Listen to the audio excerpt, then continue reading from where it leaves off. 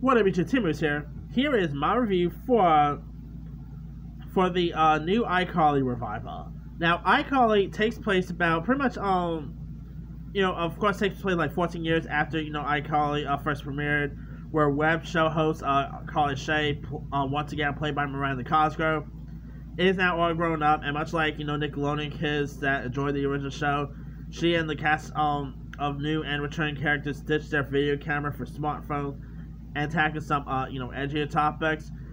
I mean, you know, this time, uh, of course, um, you you do got the uh, some of the returning cast members, such as uh, her, um, her brother Spencer, who's portrayed by Jerry Trainor, who's now a successful artist and he's a very rich dude.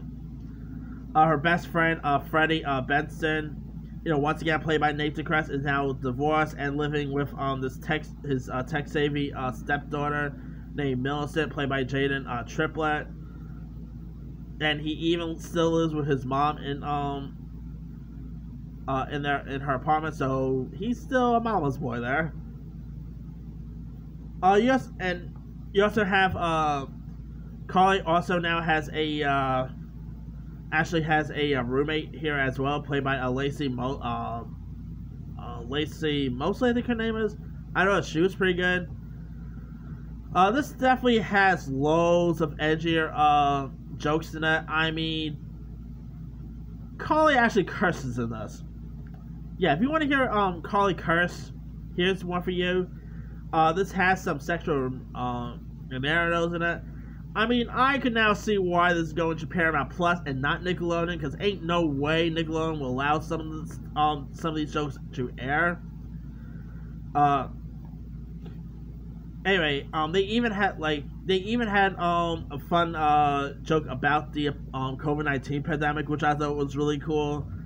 Uh, but anyway, yeah, Miranda Cosgrove was really um I thought she was really solid in this um you know in the uh, new version. Uh, is like it is crazy to see how uh, far she's grown up. I mean, I still remember her when she was little Megan from Drake and Josh.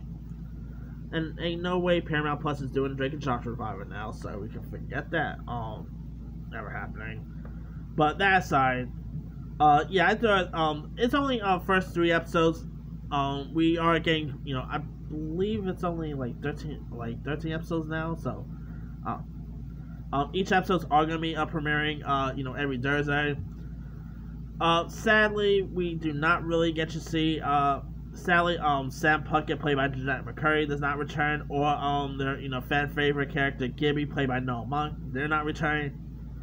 But I don't know. Maybe down the line we'll see them uh, pop up um, in the future. That's always a possibility. But yeah, don't expect to really see a Jennette McCurdy come back or even Noah Munck. No, Noah Munck is not. Um, unlike Jennette McCurdy, he hasn't really retired. Like he has a part on the Goldbergs and all. But according to um outlets, Jennette McCurdy has retired. So there's that. But I don't know. That aside, I thought this revival was really cool, and can't wait to check out more um, episodes down the line. Anyway, let me lead you guys. What are your thoughts on the revival of iCarly? I mean, I, also, I would admit, I, you know, iCarly, I thought iCarly, you know, the original iCarly was cool on, but I, I was not really, like, the biggest iCarly fan. I was more like a Drake and Josh, Victorious fan. But I have seen iCarly before, and it was a pretty solid show, so I'm glad to see um, that they started, um, that, it, you know, they decided to return it and all.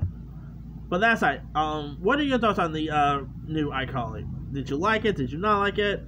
Are you interested in checking out more episodes? Were you ever a fan of iCarly? Drop comments below. Don't forget to like, subscribe, hit that bell for notifications. This is Simu Sayo.